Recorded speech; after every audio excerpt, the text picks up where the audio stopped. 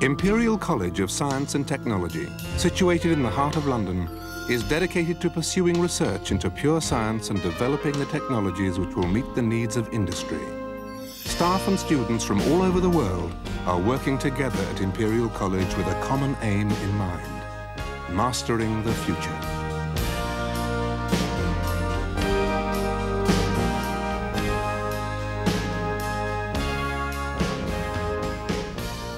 From Chile, and uh, I'm studying engineering rock mechanics. I was working in uh, underground mines before I came, and, uh, but lately I was working in a mining research center. I think that the course has been very good uh, uh, for, for me. For I've been learning a lot in rock mechanics, and uh, I think it's going to be very useful for my future. The reason why I came to Imperial was because of what they had to offer me and how, and how I would be able to use that when I get back to the Gambia. Doing the citric acid fermentation, when I go back to Gambia, I'll be able to use it for citric acid production, which they need at the moment, and it would be of quite great use. I have been working in Hong Kong for quite a number of years. And before I resumed my studies, uh, I was an engineer in the Hong Kong Mass Transit Railway. I've been working on a project which involves uh, vision uh, incorporated in the robot, robot system uh, in search for small objects for assembly in industry. Yeah. after this one, I will another one project which I shall carry with British Telecom to install new robots to assemble new telephone sets. For most young people in Hong Kong or in the Far East, this course will be very useful because it provides us good chances uh, not, to, not just on technical side, uh, but also on management side. So, Imperial College students see the value of links with industry. How do Britain's industrialists see their relationship with universities? It's no good living in an ivory tower anymore. That just doesn't produce effective results. You have to have good uh, relationships with industry. What we're looking for is for people who will work hard, who will try hard, uh, clearly who are intelligent and have got good use uh, of their, uh, they understand their disciplines, but also will give leadership. Uh, what this country really needs uh, is that the talented people give leadership and get large groups of people working in harmony together. On two or three occasions that I can remember from personal experience, we have called on help from Imperial College in different ways. Early on, working in West Africa. We built a causeway near Lagos and then a breakwater out into the Atlantic and the Delta, where the principal problems were soil mechanic, me mechanics problems of the foundation on the very soft clay. And there we called on the soil mechanics people. More recently, work was done on the Thames Barrier. Imperial College's civil engineers built and tested models to evaluate stress and load factors in this masterpiece of modern technology that protects London from freak storms causing surge tides up the River Thames. Close research links are maintained with many other sectors of industry. So far as Imperial College is concerned, we have over 40 research agreements, but the relationship is far closer than a purely contractual one between us. Imperial College, along with our other better universities, does provide the kind of breadth of understanding of fundamentals necessary to build the kind of experience where one relates that subsequently to the, the, the, the real world, be it of industry or of a government research establishment. We have quite strong links with universities, which are important to us for a number of reasons. And the main one with Imperial College is that we have a Pilkington Chair of Applied Optics, but we also have other links as well. We're members of the um, Industrial Associates scheme, of course, with the optical group. And in addition, we fund a number of students down there for PhDs and so on.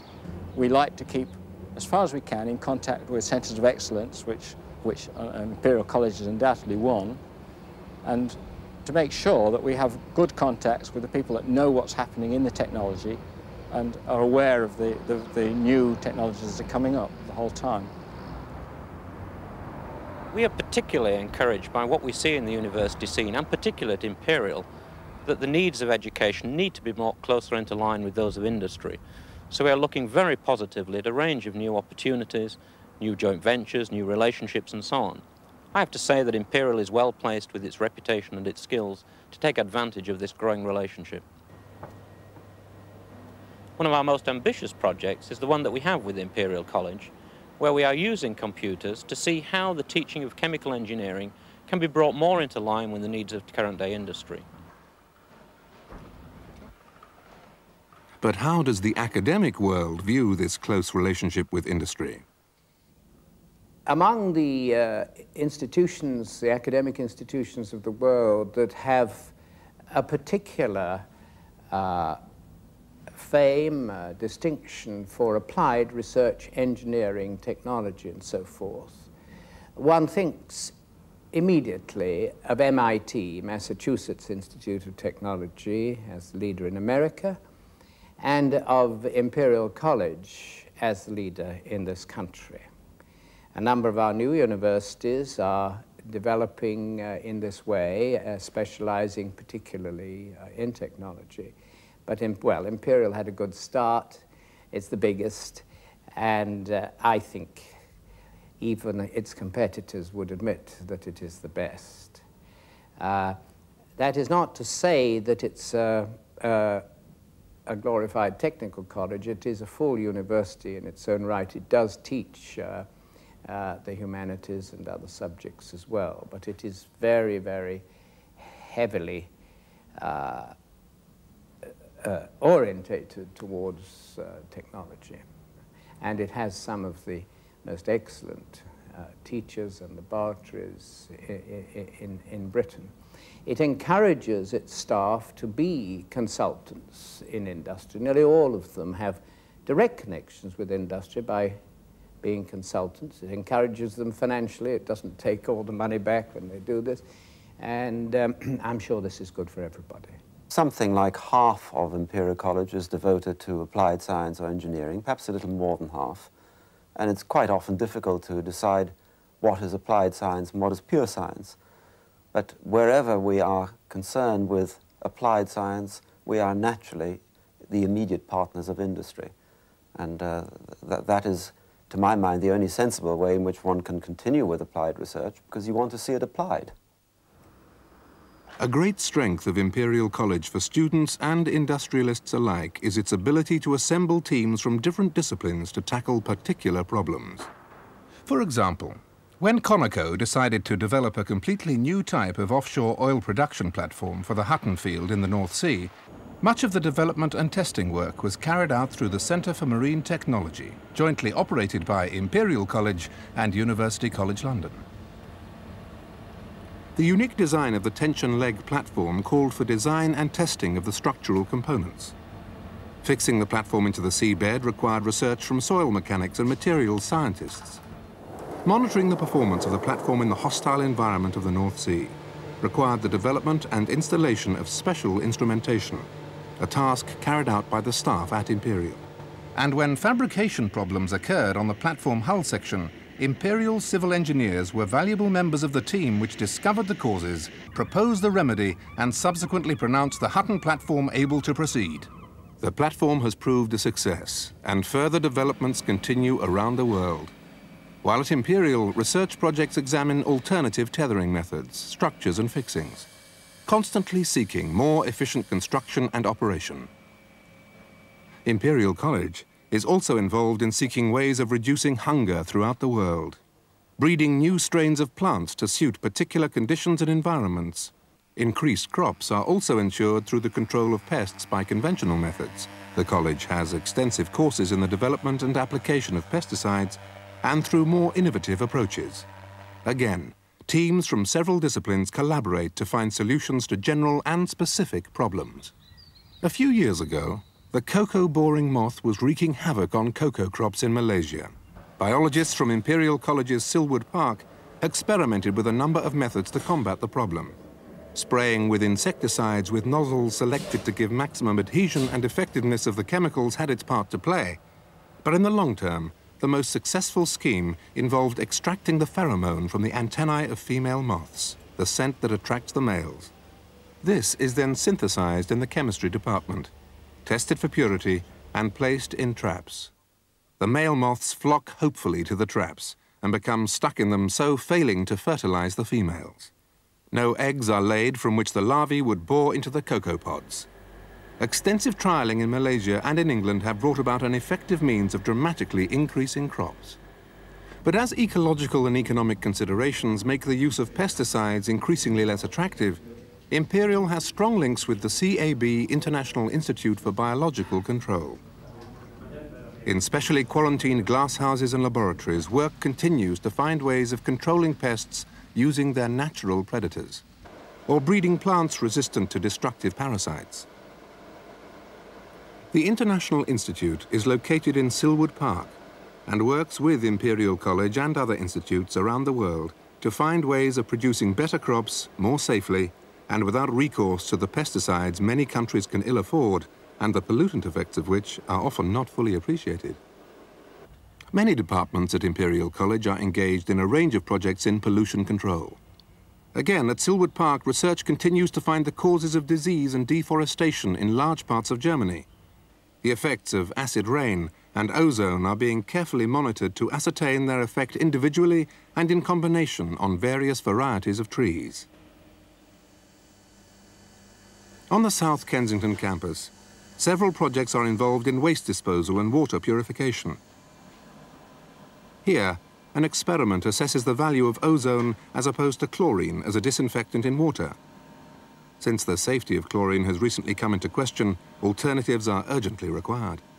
But the college is also concerned with low-cost systems for drinking water purification. In this Oxfam-sponsored research, the effectiveness of various fabrics in filtering particles from water is analysed. The addition of simple fabric filters in water treatment plants, especially in developing countries, could prove economically viable since the sand beds would need to be changed less frequently. Imperial has a number of projects in the disposal of toxic waste, and through its applied geochemistry work is assessing the role of geology on agricultural production. Further studies examine the effects of metals and trace elements in plant, animal and human health. But whatever research is undertaken, it increasingly, almost inevitably, involves computers. Imperial College is at the forefront of developments in computing and information technology. As the international quest for the fifth generation intelligent computer came to rely on a base in logic programming, Imperial College became the focus for much of the British government's own Alvey programme, a series of over 100 research projects into information technology jointly funded with industry. 40 of these projects are based at Imperial. Professor Bruce Sayers explains. The logic programming was to be based on a language called Prolog, which started life in, in France, in fact in Marseille, but it was primarily developed between uh, Dr. Colmerauer and then Dr. Kowalski, who ultimately came here and for many years has been the leading light in the logic programming work. Uh, so since the uh, Japanese fifth generation project was in fact uh, based on the use of Prolog, it was not surprising that suddenly attention focused on work going on in this department. The second thread of work going on in Imperial College, which was really relevant to the fifth generation project, was the work on parallel computing architectures. John Darlington has been making use of these ideas of functional programming and the implementation of parallel computing itself, uh, using the InMOS transputer as the main vehicle and producing our own specialized communication uh, chips to produce a computer which is known as Alice uh, the ALICE project is in fact uh, fundamental to the Alvey program. There are several other areas in which Imperial College leads the field. Software engineering is much in demand for large industrial projects where reliable software is vital. So successful has Imperial been that it has set up a company to maximize dissemination and generate income from its research in that area. The same company is involved in developments at the man-machine interface too. A keyboard system has been developed which will enable Chinese characters to be typed onto a VDU from Pinyin, romanized input, and now the text on screen can be manipulated by voice input. The keyboard is already in extensive use in China with the new China News Agency and others needing an easy-to-use input system. But Imperial College is equally aware of the importance of analysing the impact on businesses of information technology and has a continuing commitment to courses in the management of technology at various levels. Finally, the college is deeply involved in the development of expert systems. Expert systems are one of the really consequential developments in recent computer science. An expert system is quite simply a means for acquiring information from an expert in some particular problem, a means for organizing all the information you can extract from him, a means for interrogating the system and asking how, in the light of that information, it would solve a new problem, and finally, when necessary, you can ask the system to explain why it has made the recommendation it has, and you can attach whatever weight you wish to it. Imperial College is filled with people who welcome the challenge of the future and are engaged in research in ways of ensuring maximum human benefit. But the college is involved in teaching undergraduates and postgraduates as well, teaching which takes a number of forms. Basically, we have seminars for, for lecturers, and uh, we have coursework, very, very hard coursework, and uh, we have examination. And after us, we can combine those concepts and theories, and we have to finish up my project. The course is a one-year course, and we do as much as the most American universities do in two years. Before coming here, I finished my second degree in Korea, and after graduation, I entered Korean Institute for Defense Analysis. Well, first of all, it was really tough course. I never expect something like this atmosphere before coming here. And there are a lot of courses which we can choose. And we should finish uh, five compulsory courses as well as 10 or 15 elective courses. My, my work is mainly involved in timber treatment. So what I do is um, I do treat some small piece of timber and um, to investigate the depth of penetration the preservatives goes into the timber and then expose them to different fungus to find out whether the preservatives are effective or not effective. But however hard the course of study, there has to be time for relaxing. Many students enjoy the opportunity of meeting British families in their homes. Others enjoy the sights of London with its history, culture and special atmosphere. And for all single students, the college can provide accommodation in well-equipped halls of residence. I came here with my family, and I was very lucky. I found a place uh, that belongs to Imperial College. And uh, so we have uh, very good accommodation, I would say. There are also excellent sporting and recreational facilities. One.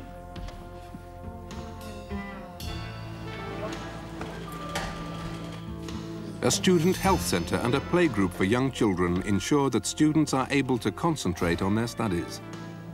Imperial College has truly outstanding study facilities, main libraries and specialist collections in each department, computer terminals available throughout the campus and staff of the highest calibre. I have enjoyed myself socially and educationally because the opportunity to come in here and play with the equipment like the fermenters and microscopes and things like that. And also, I was given the opportunity to go into the libraries which had more facilities than if I were back at home. So my educational scope was broader. Also, people have made me feel at home and here at Imperial, I can always go into any department and talk with my lecturers, whether it's on academic problems or social problems.